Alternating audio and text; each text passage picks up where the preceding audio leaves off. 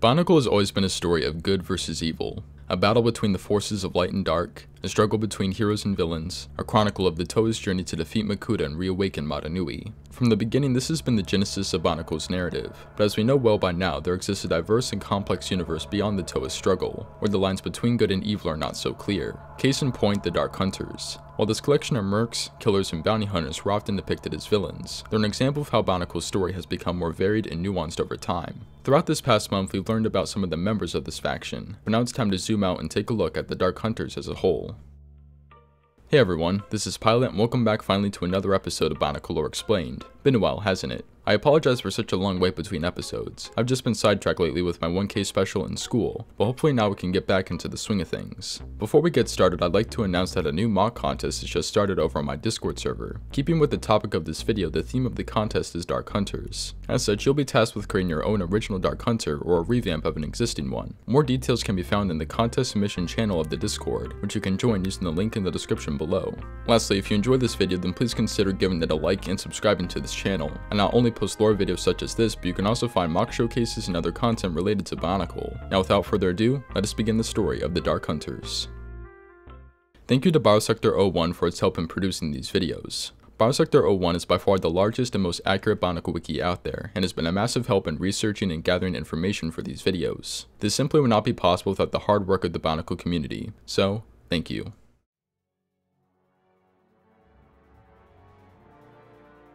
The story of the Dark Hunters begins with a being known as Ancient. Ancient was a member of an unknown species who hailed from a desolate island ravaged by harsh winter storms. Equally harsh, however, was the strict code of conduct that governed the island's inhabitants, a code that Ancient sought to abolish entirely. Going against the societal norms of his homeland, Ancient began offering his services as a mercenary, and a damn good one at that. So much so that Ancient single-handedly destabilized the society on the island, as warlords began competing against each other for Ancient and his services. Later into this civil war, Ancient would encounter the being we as the Shadowed One, a fellow member of Ancient species and the future leader of the Dark Hunters. Ancient's exploits had shown the Shadowed One that bounty hunting was an extremely lucrative market, inspiring him to start a business of his own. Together, Ancient and the Shadowed One would leave their desolate homeland behind and journey to the island of Odina. There, they would drive out the island's original inhabitants and take control of Odina for themselves, the first in a long conquest of stealing, killing, and other despicable acts committed by the Dark Hunters. In the years that followed, the Dark Hunters would only grow in size and notoriety, recruiting new members for their cause and establishing relations with other factions within the Matoran universe. Chief among these was the Brotherhood of Makuta,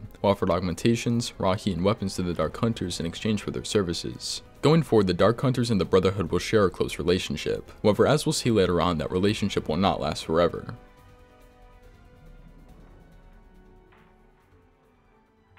As the Dark Hunters acquired greater standing within the Matoran universe, the Shadowed One's ambition only grew. He no longer viewed his organization as merely a business, but rather a means of conquering and ruling the Matoran universe. In the eyes of the Shadowed One, the greatest prize of all would be the island city of Metru Nui, a metropolis that, in essence, served as the capital of the Matoran universe. The Shadowed One would unleash many threats upon the city in an effort to take control of it. The first of these attempts would be freeing a powerful Rahi called the Kanohi Dragon to do damage to the city. However, this attack would be thwarted by a Toa team known as the Toa Mangai. Later, the Shadowed One would also attempt to kidnap Turaga Dume, the leader of Metru Nui, a plan that wound up failing just like all the others. The Shadowed One's failures would only make him more obsessed with the city however. Opting to take a more direct approach, the Shadowed One would declare war on Metru Nui, thus beginning the Toa Dark Hunter War. In time, Dark Hunters would begin invading the city in mass, instilling fear within the hearts of the Matoran and overwhelming the Toa left to defend the city. While the vast majority of the Toa had taken refuge within the Colosseum at the center of Metru Nui, one had managed to escape amidst the invasion. Naho, a Toa of Water member of the Toa Mangai, would venture outside of Metru Nui to gather reinforcements for the Toa. By the time she returned, Naho had gathered an army of 100 Toa to her aid. While they experienced many losses, the Toa would eventually drive the Dark Hunters out of Metru Nui. Before that, however, Toa Lhikan, leader of the Toa Mangai, would strike a deal with the Dark Hunter Hakan. Hakan would give Lhikan an artifact known as the Makoki Stone to allow the Dark Hunters a peaceful exit from the city. However, contrary to what you might believe, this was all part of a bigger plan. Nidhiki, another member of the Toa Mangai, would be approached by a Dark Hunter named Lariska with an offer of her own. If Nidhiki aided the Dark Hunters in luring the Toa into an ambush, he would be rewarded with control over Metru Nui. Nidhiki accepted, and the next day he led the Toa into the Canyon of Unending Whispers in Po Metru, knowing full well that his fellow Toa were about to be attacked. The Lhikan, still wary of the Dark Hunters, came prepared with an army of 300 Toa that arrived to counter the ambush. Despite Nidhiki's betrayal, the Toa would be victorious. Lhikan banished the Dark Hunters and his former brother Nidhiki from Metru Nui, and the Toa Dark Hunter War finally came to a close.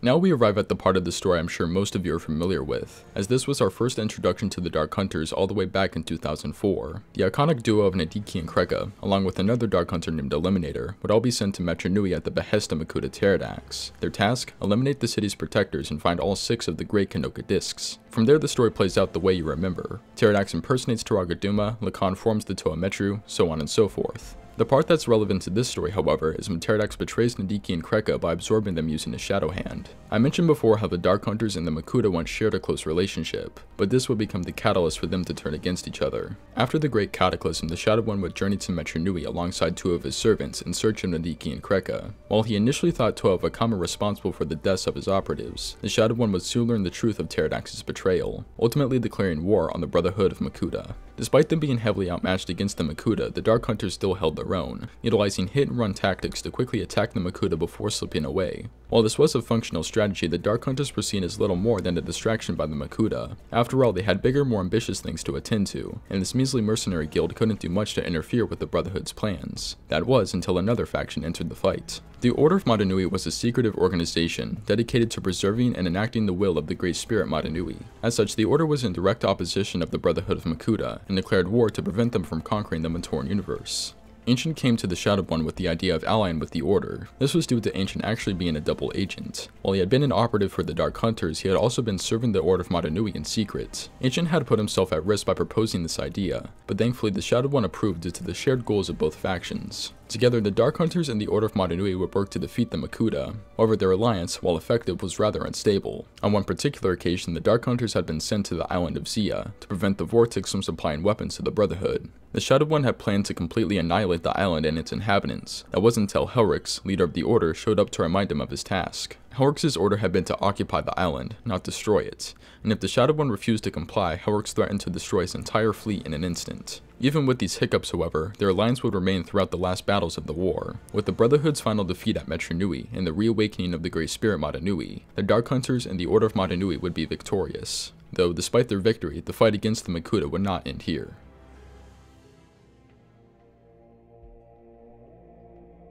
And with that, we have concluded the story of the Dark Hunters. If you ask me, the Dark Hunters really added a lot to Bionicle's story. Before we only really knew the conflict between the Toa and Makuta, but when the Dark Hunters were introduced in 2004, we were exposed to a completely new side of the Bionicle universe. No longer was Bionicle exclusively a story of the Toa's journey to reawaken Mata Nui, but now a fully fledged universe with factions all vying for control of it. It's for this reason that I view the Dark Hunters as one of the best additions to Bionicle's story. While the Toa and Makuta were great as heroes and villains, it's groups like the Dark Hunters that offered more nuance and complexity to Bionicle's story, making the Bionicle universe an overall more interesting place for us fans to get immersed in. To close out this episode of Bionicle Lore Explained, I'd be curious to hear your thoughts on the Dark Hunters. Do you have a favorite member? Any thoughts on their story or role within the Bionicle universe? Either way, I'm interested to see your thoughts and opinions about the Dark Hunters, so feel free to let me know in the comment section down below. And remember that I also have the new Dark Hunters contest that's happening on my Discord server. Again, for those who are interested in joining, you can do so using the link in the description below. Thank you for watching this episode of Bionicle Lore Explained, and this is Pilot, signing off.